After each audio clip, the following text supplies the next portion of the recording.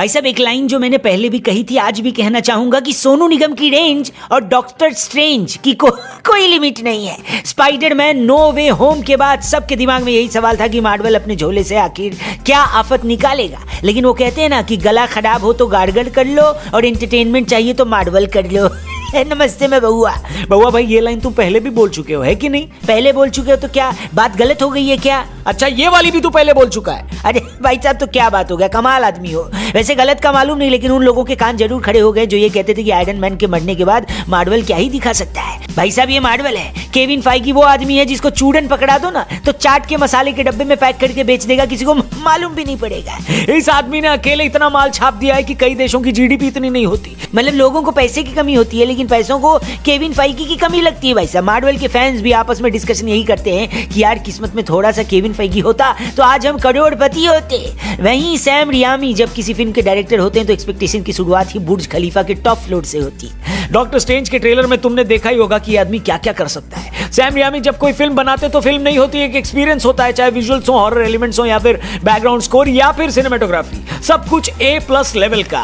Doctor Strange in the Madness of Multiverse उनकी सबसे अच्छी क्रिएशन में से एक हो सकती है। तो देखिए ट्रेलर की शुरुआत होती है डॉक्टर स्ट्रेंज के ड्रीम सीक्वेंस से, जहाँ पर उनको दिखाई देता है सेंटम सेंटोरम जिसके आसपास बहुत सारे कंकाल और हड्डियाँ पड़ी हुई हैं। ट्रेलर के पहले फ्रेम से ही सैम रियामी हमको बता देते हैं कि फ़िल्म अपने हॉरर एलिमेंट्स को पूरी तरह से एक्सप्लोर करने वाली है। फ़िल्म अपने विजुअल्स के थ्रू आपको कई चीज़ें बताने की कोशिश करेगी। फॉर एग्ज़ाम्पल डॉक्टर स्ट्रेंज की टूटी हुई घड़ी रियलिटी और बाकी डायमेंशन के गड़बड़ झोल को दिखाती है कि टाइम और रियलिटी ब्रेक हो चुकी है। इसके बाद स्क्रीन पर कई सारे मॉन्स्टर्स दिखाई देते हैं। सकता है उनका कुछ नाम भी हो, अपने को वो मालूम नहीं है, इसलिए उनको अभी के लिए मॉन्स्टर्स ही बुलाते हैं। मॉन्स्टर से याद आया कि इसमें एक डायनासोर के टाइम का सीन भी है। यानी सैम रियामी पूरे मूड में है हमको वो दिखाने के लिए जो हमने सोचा भी नहीं है। इल्यूमिनाटी ग्रुप के साथ साथ इसमें मोडो भी नज़र आता है, जो स्ट्रेंज को माफ़ी देने के मूड में एकदम नहीं है। वंडा भी स्ट्रेंज को टॉन्ट मारते हुए कहती है कि तुमने इतना रायता फैलाया है तो कुछ नहीं, मैंने जरा सा रियलिटी को छेड़ दिया तो आफत आ गई। ये सुनते ही मेरे को मालूम पड़ गया कि ये बंदी आतंक मचाने वाली है। वांडा विजन में हमने देखा ही है कि अगर ये अपने पर आ जाए तो कलेजा निकाल सकती है, मज़ाक नहीं कर रहे हम लोग।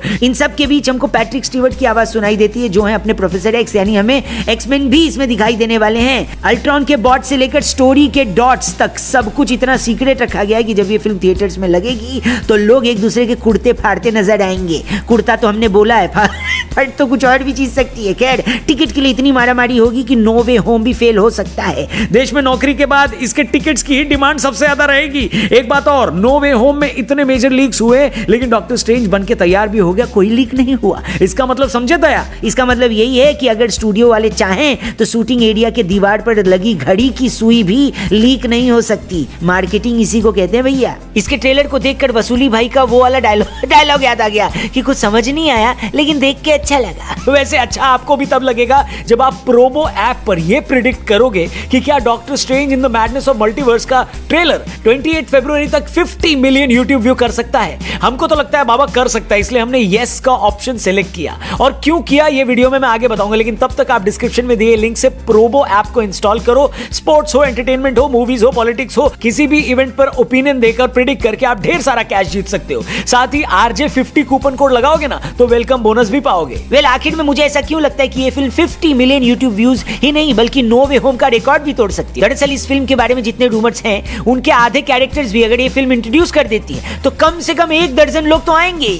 और उनको देखने के लिए ट्रॉली भर भर के पब्लिक भी आएगी। पैसे भी आएँगे रिकॉर्ड्स भी बनेंगे और मज़ा भी आएगा। तो जब इतना सब कुछ आएगा तो हम आपको ये भी बताएगा कि आखिर में फ़िल्म के ट्रेलर में कैसे डीसी के लिए मुश्किलें खड़ी कर दी हैं। तो भाई साहब सुपर बोल का टाइम था। सब एक्सपेक्ट कर रहे थे कि मार्वल और डीसी का सारा कंटेंट यहाँ मिलेगा। लेकिन तभी ये मालूम पड़ा कि डॉक्टर स्ट्रेंज का ट्रेलर भी आने वाला है। अब देखो यार, ये फ़िल्म मार्वल के 10 सालों का ही नहीं, बल्कि जब एमसीयू एग्जिस्ट भी नहीं करता था, तब का निचोड़ है।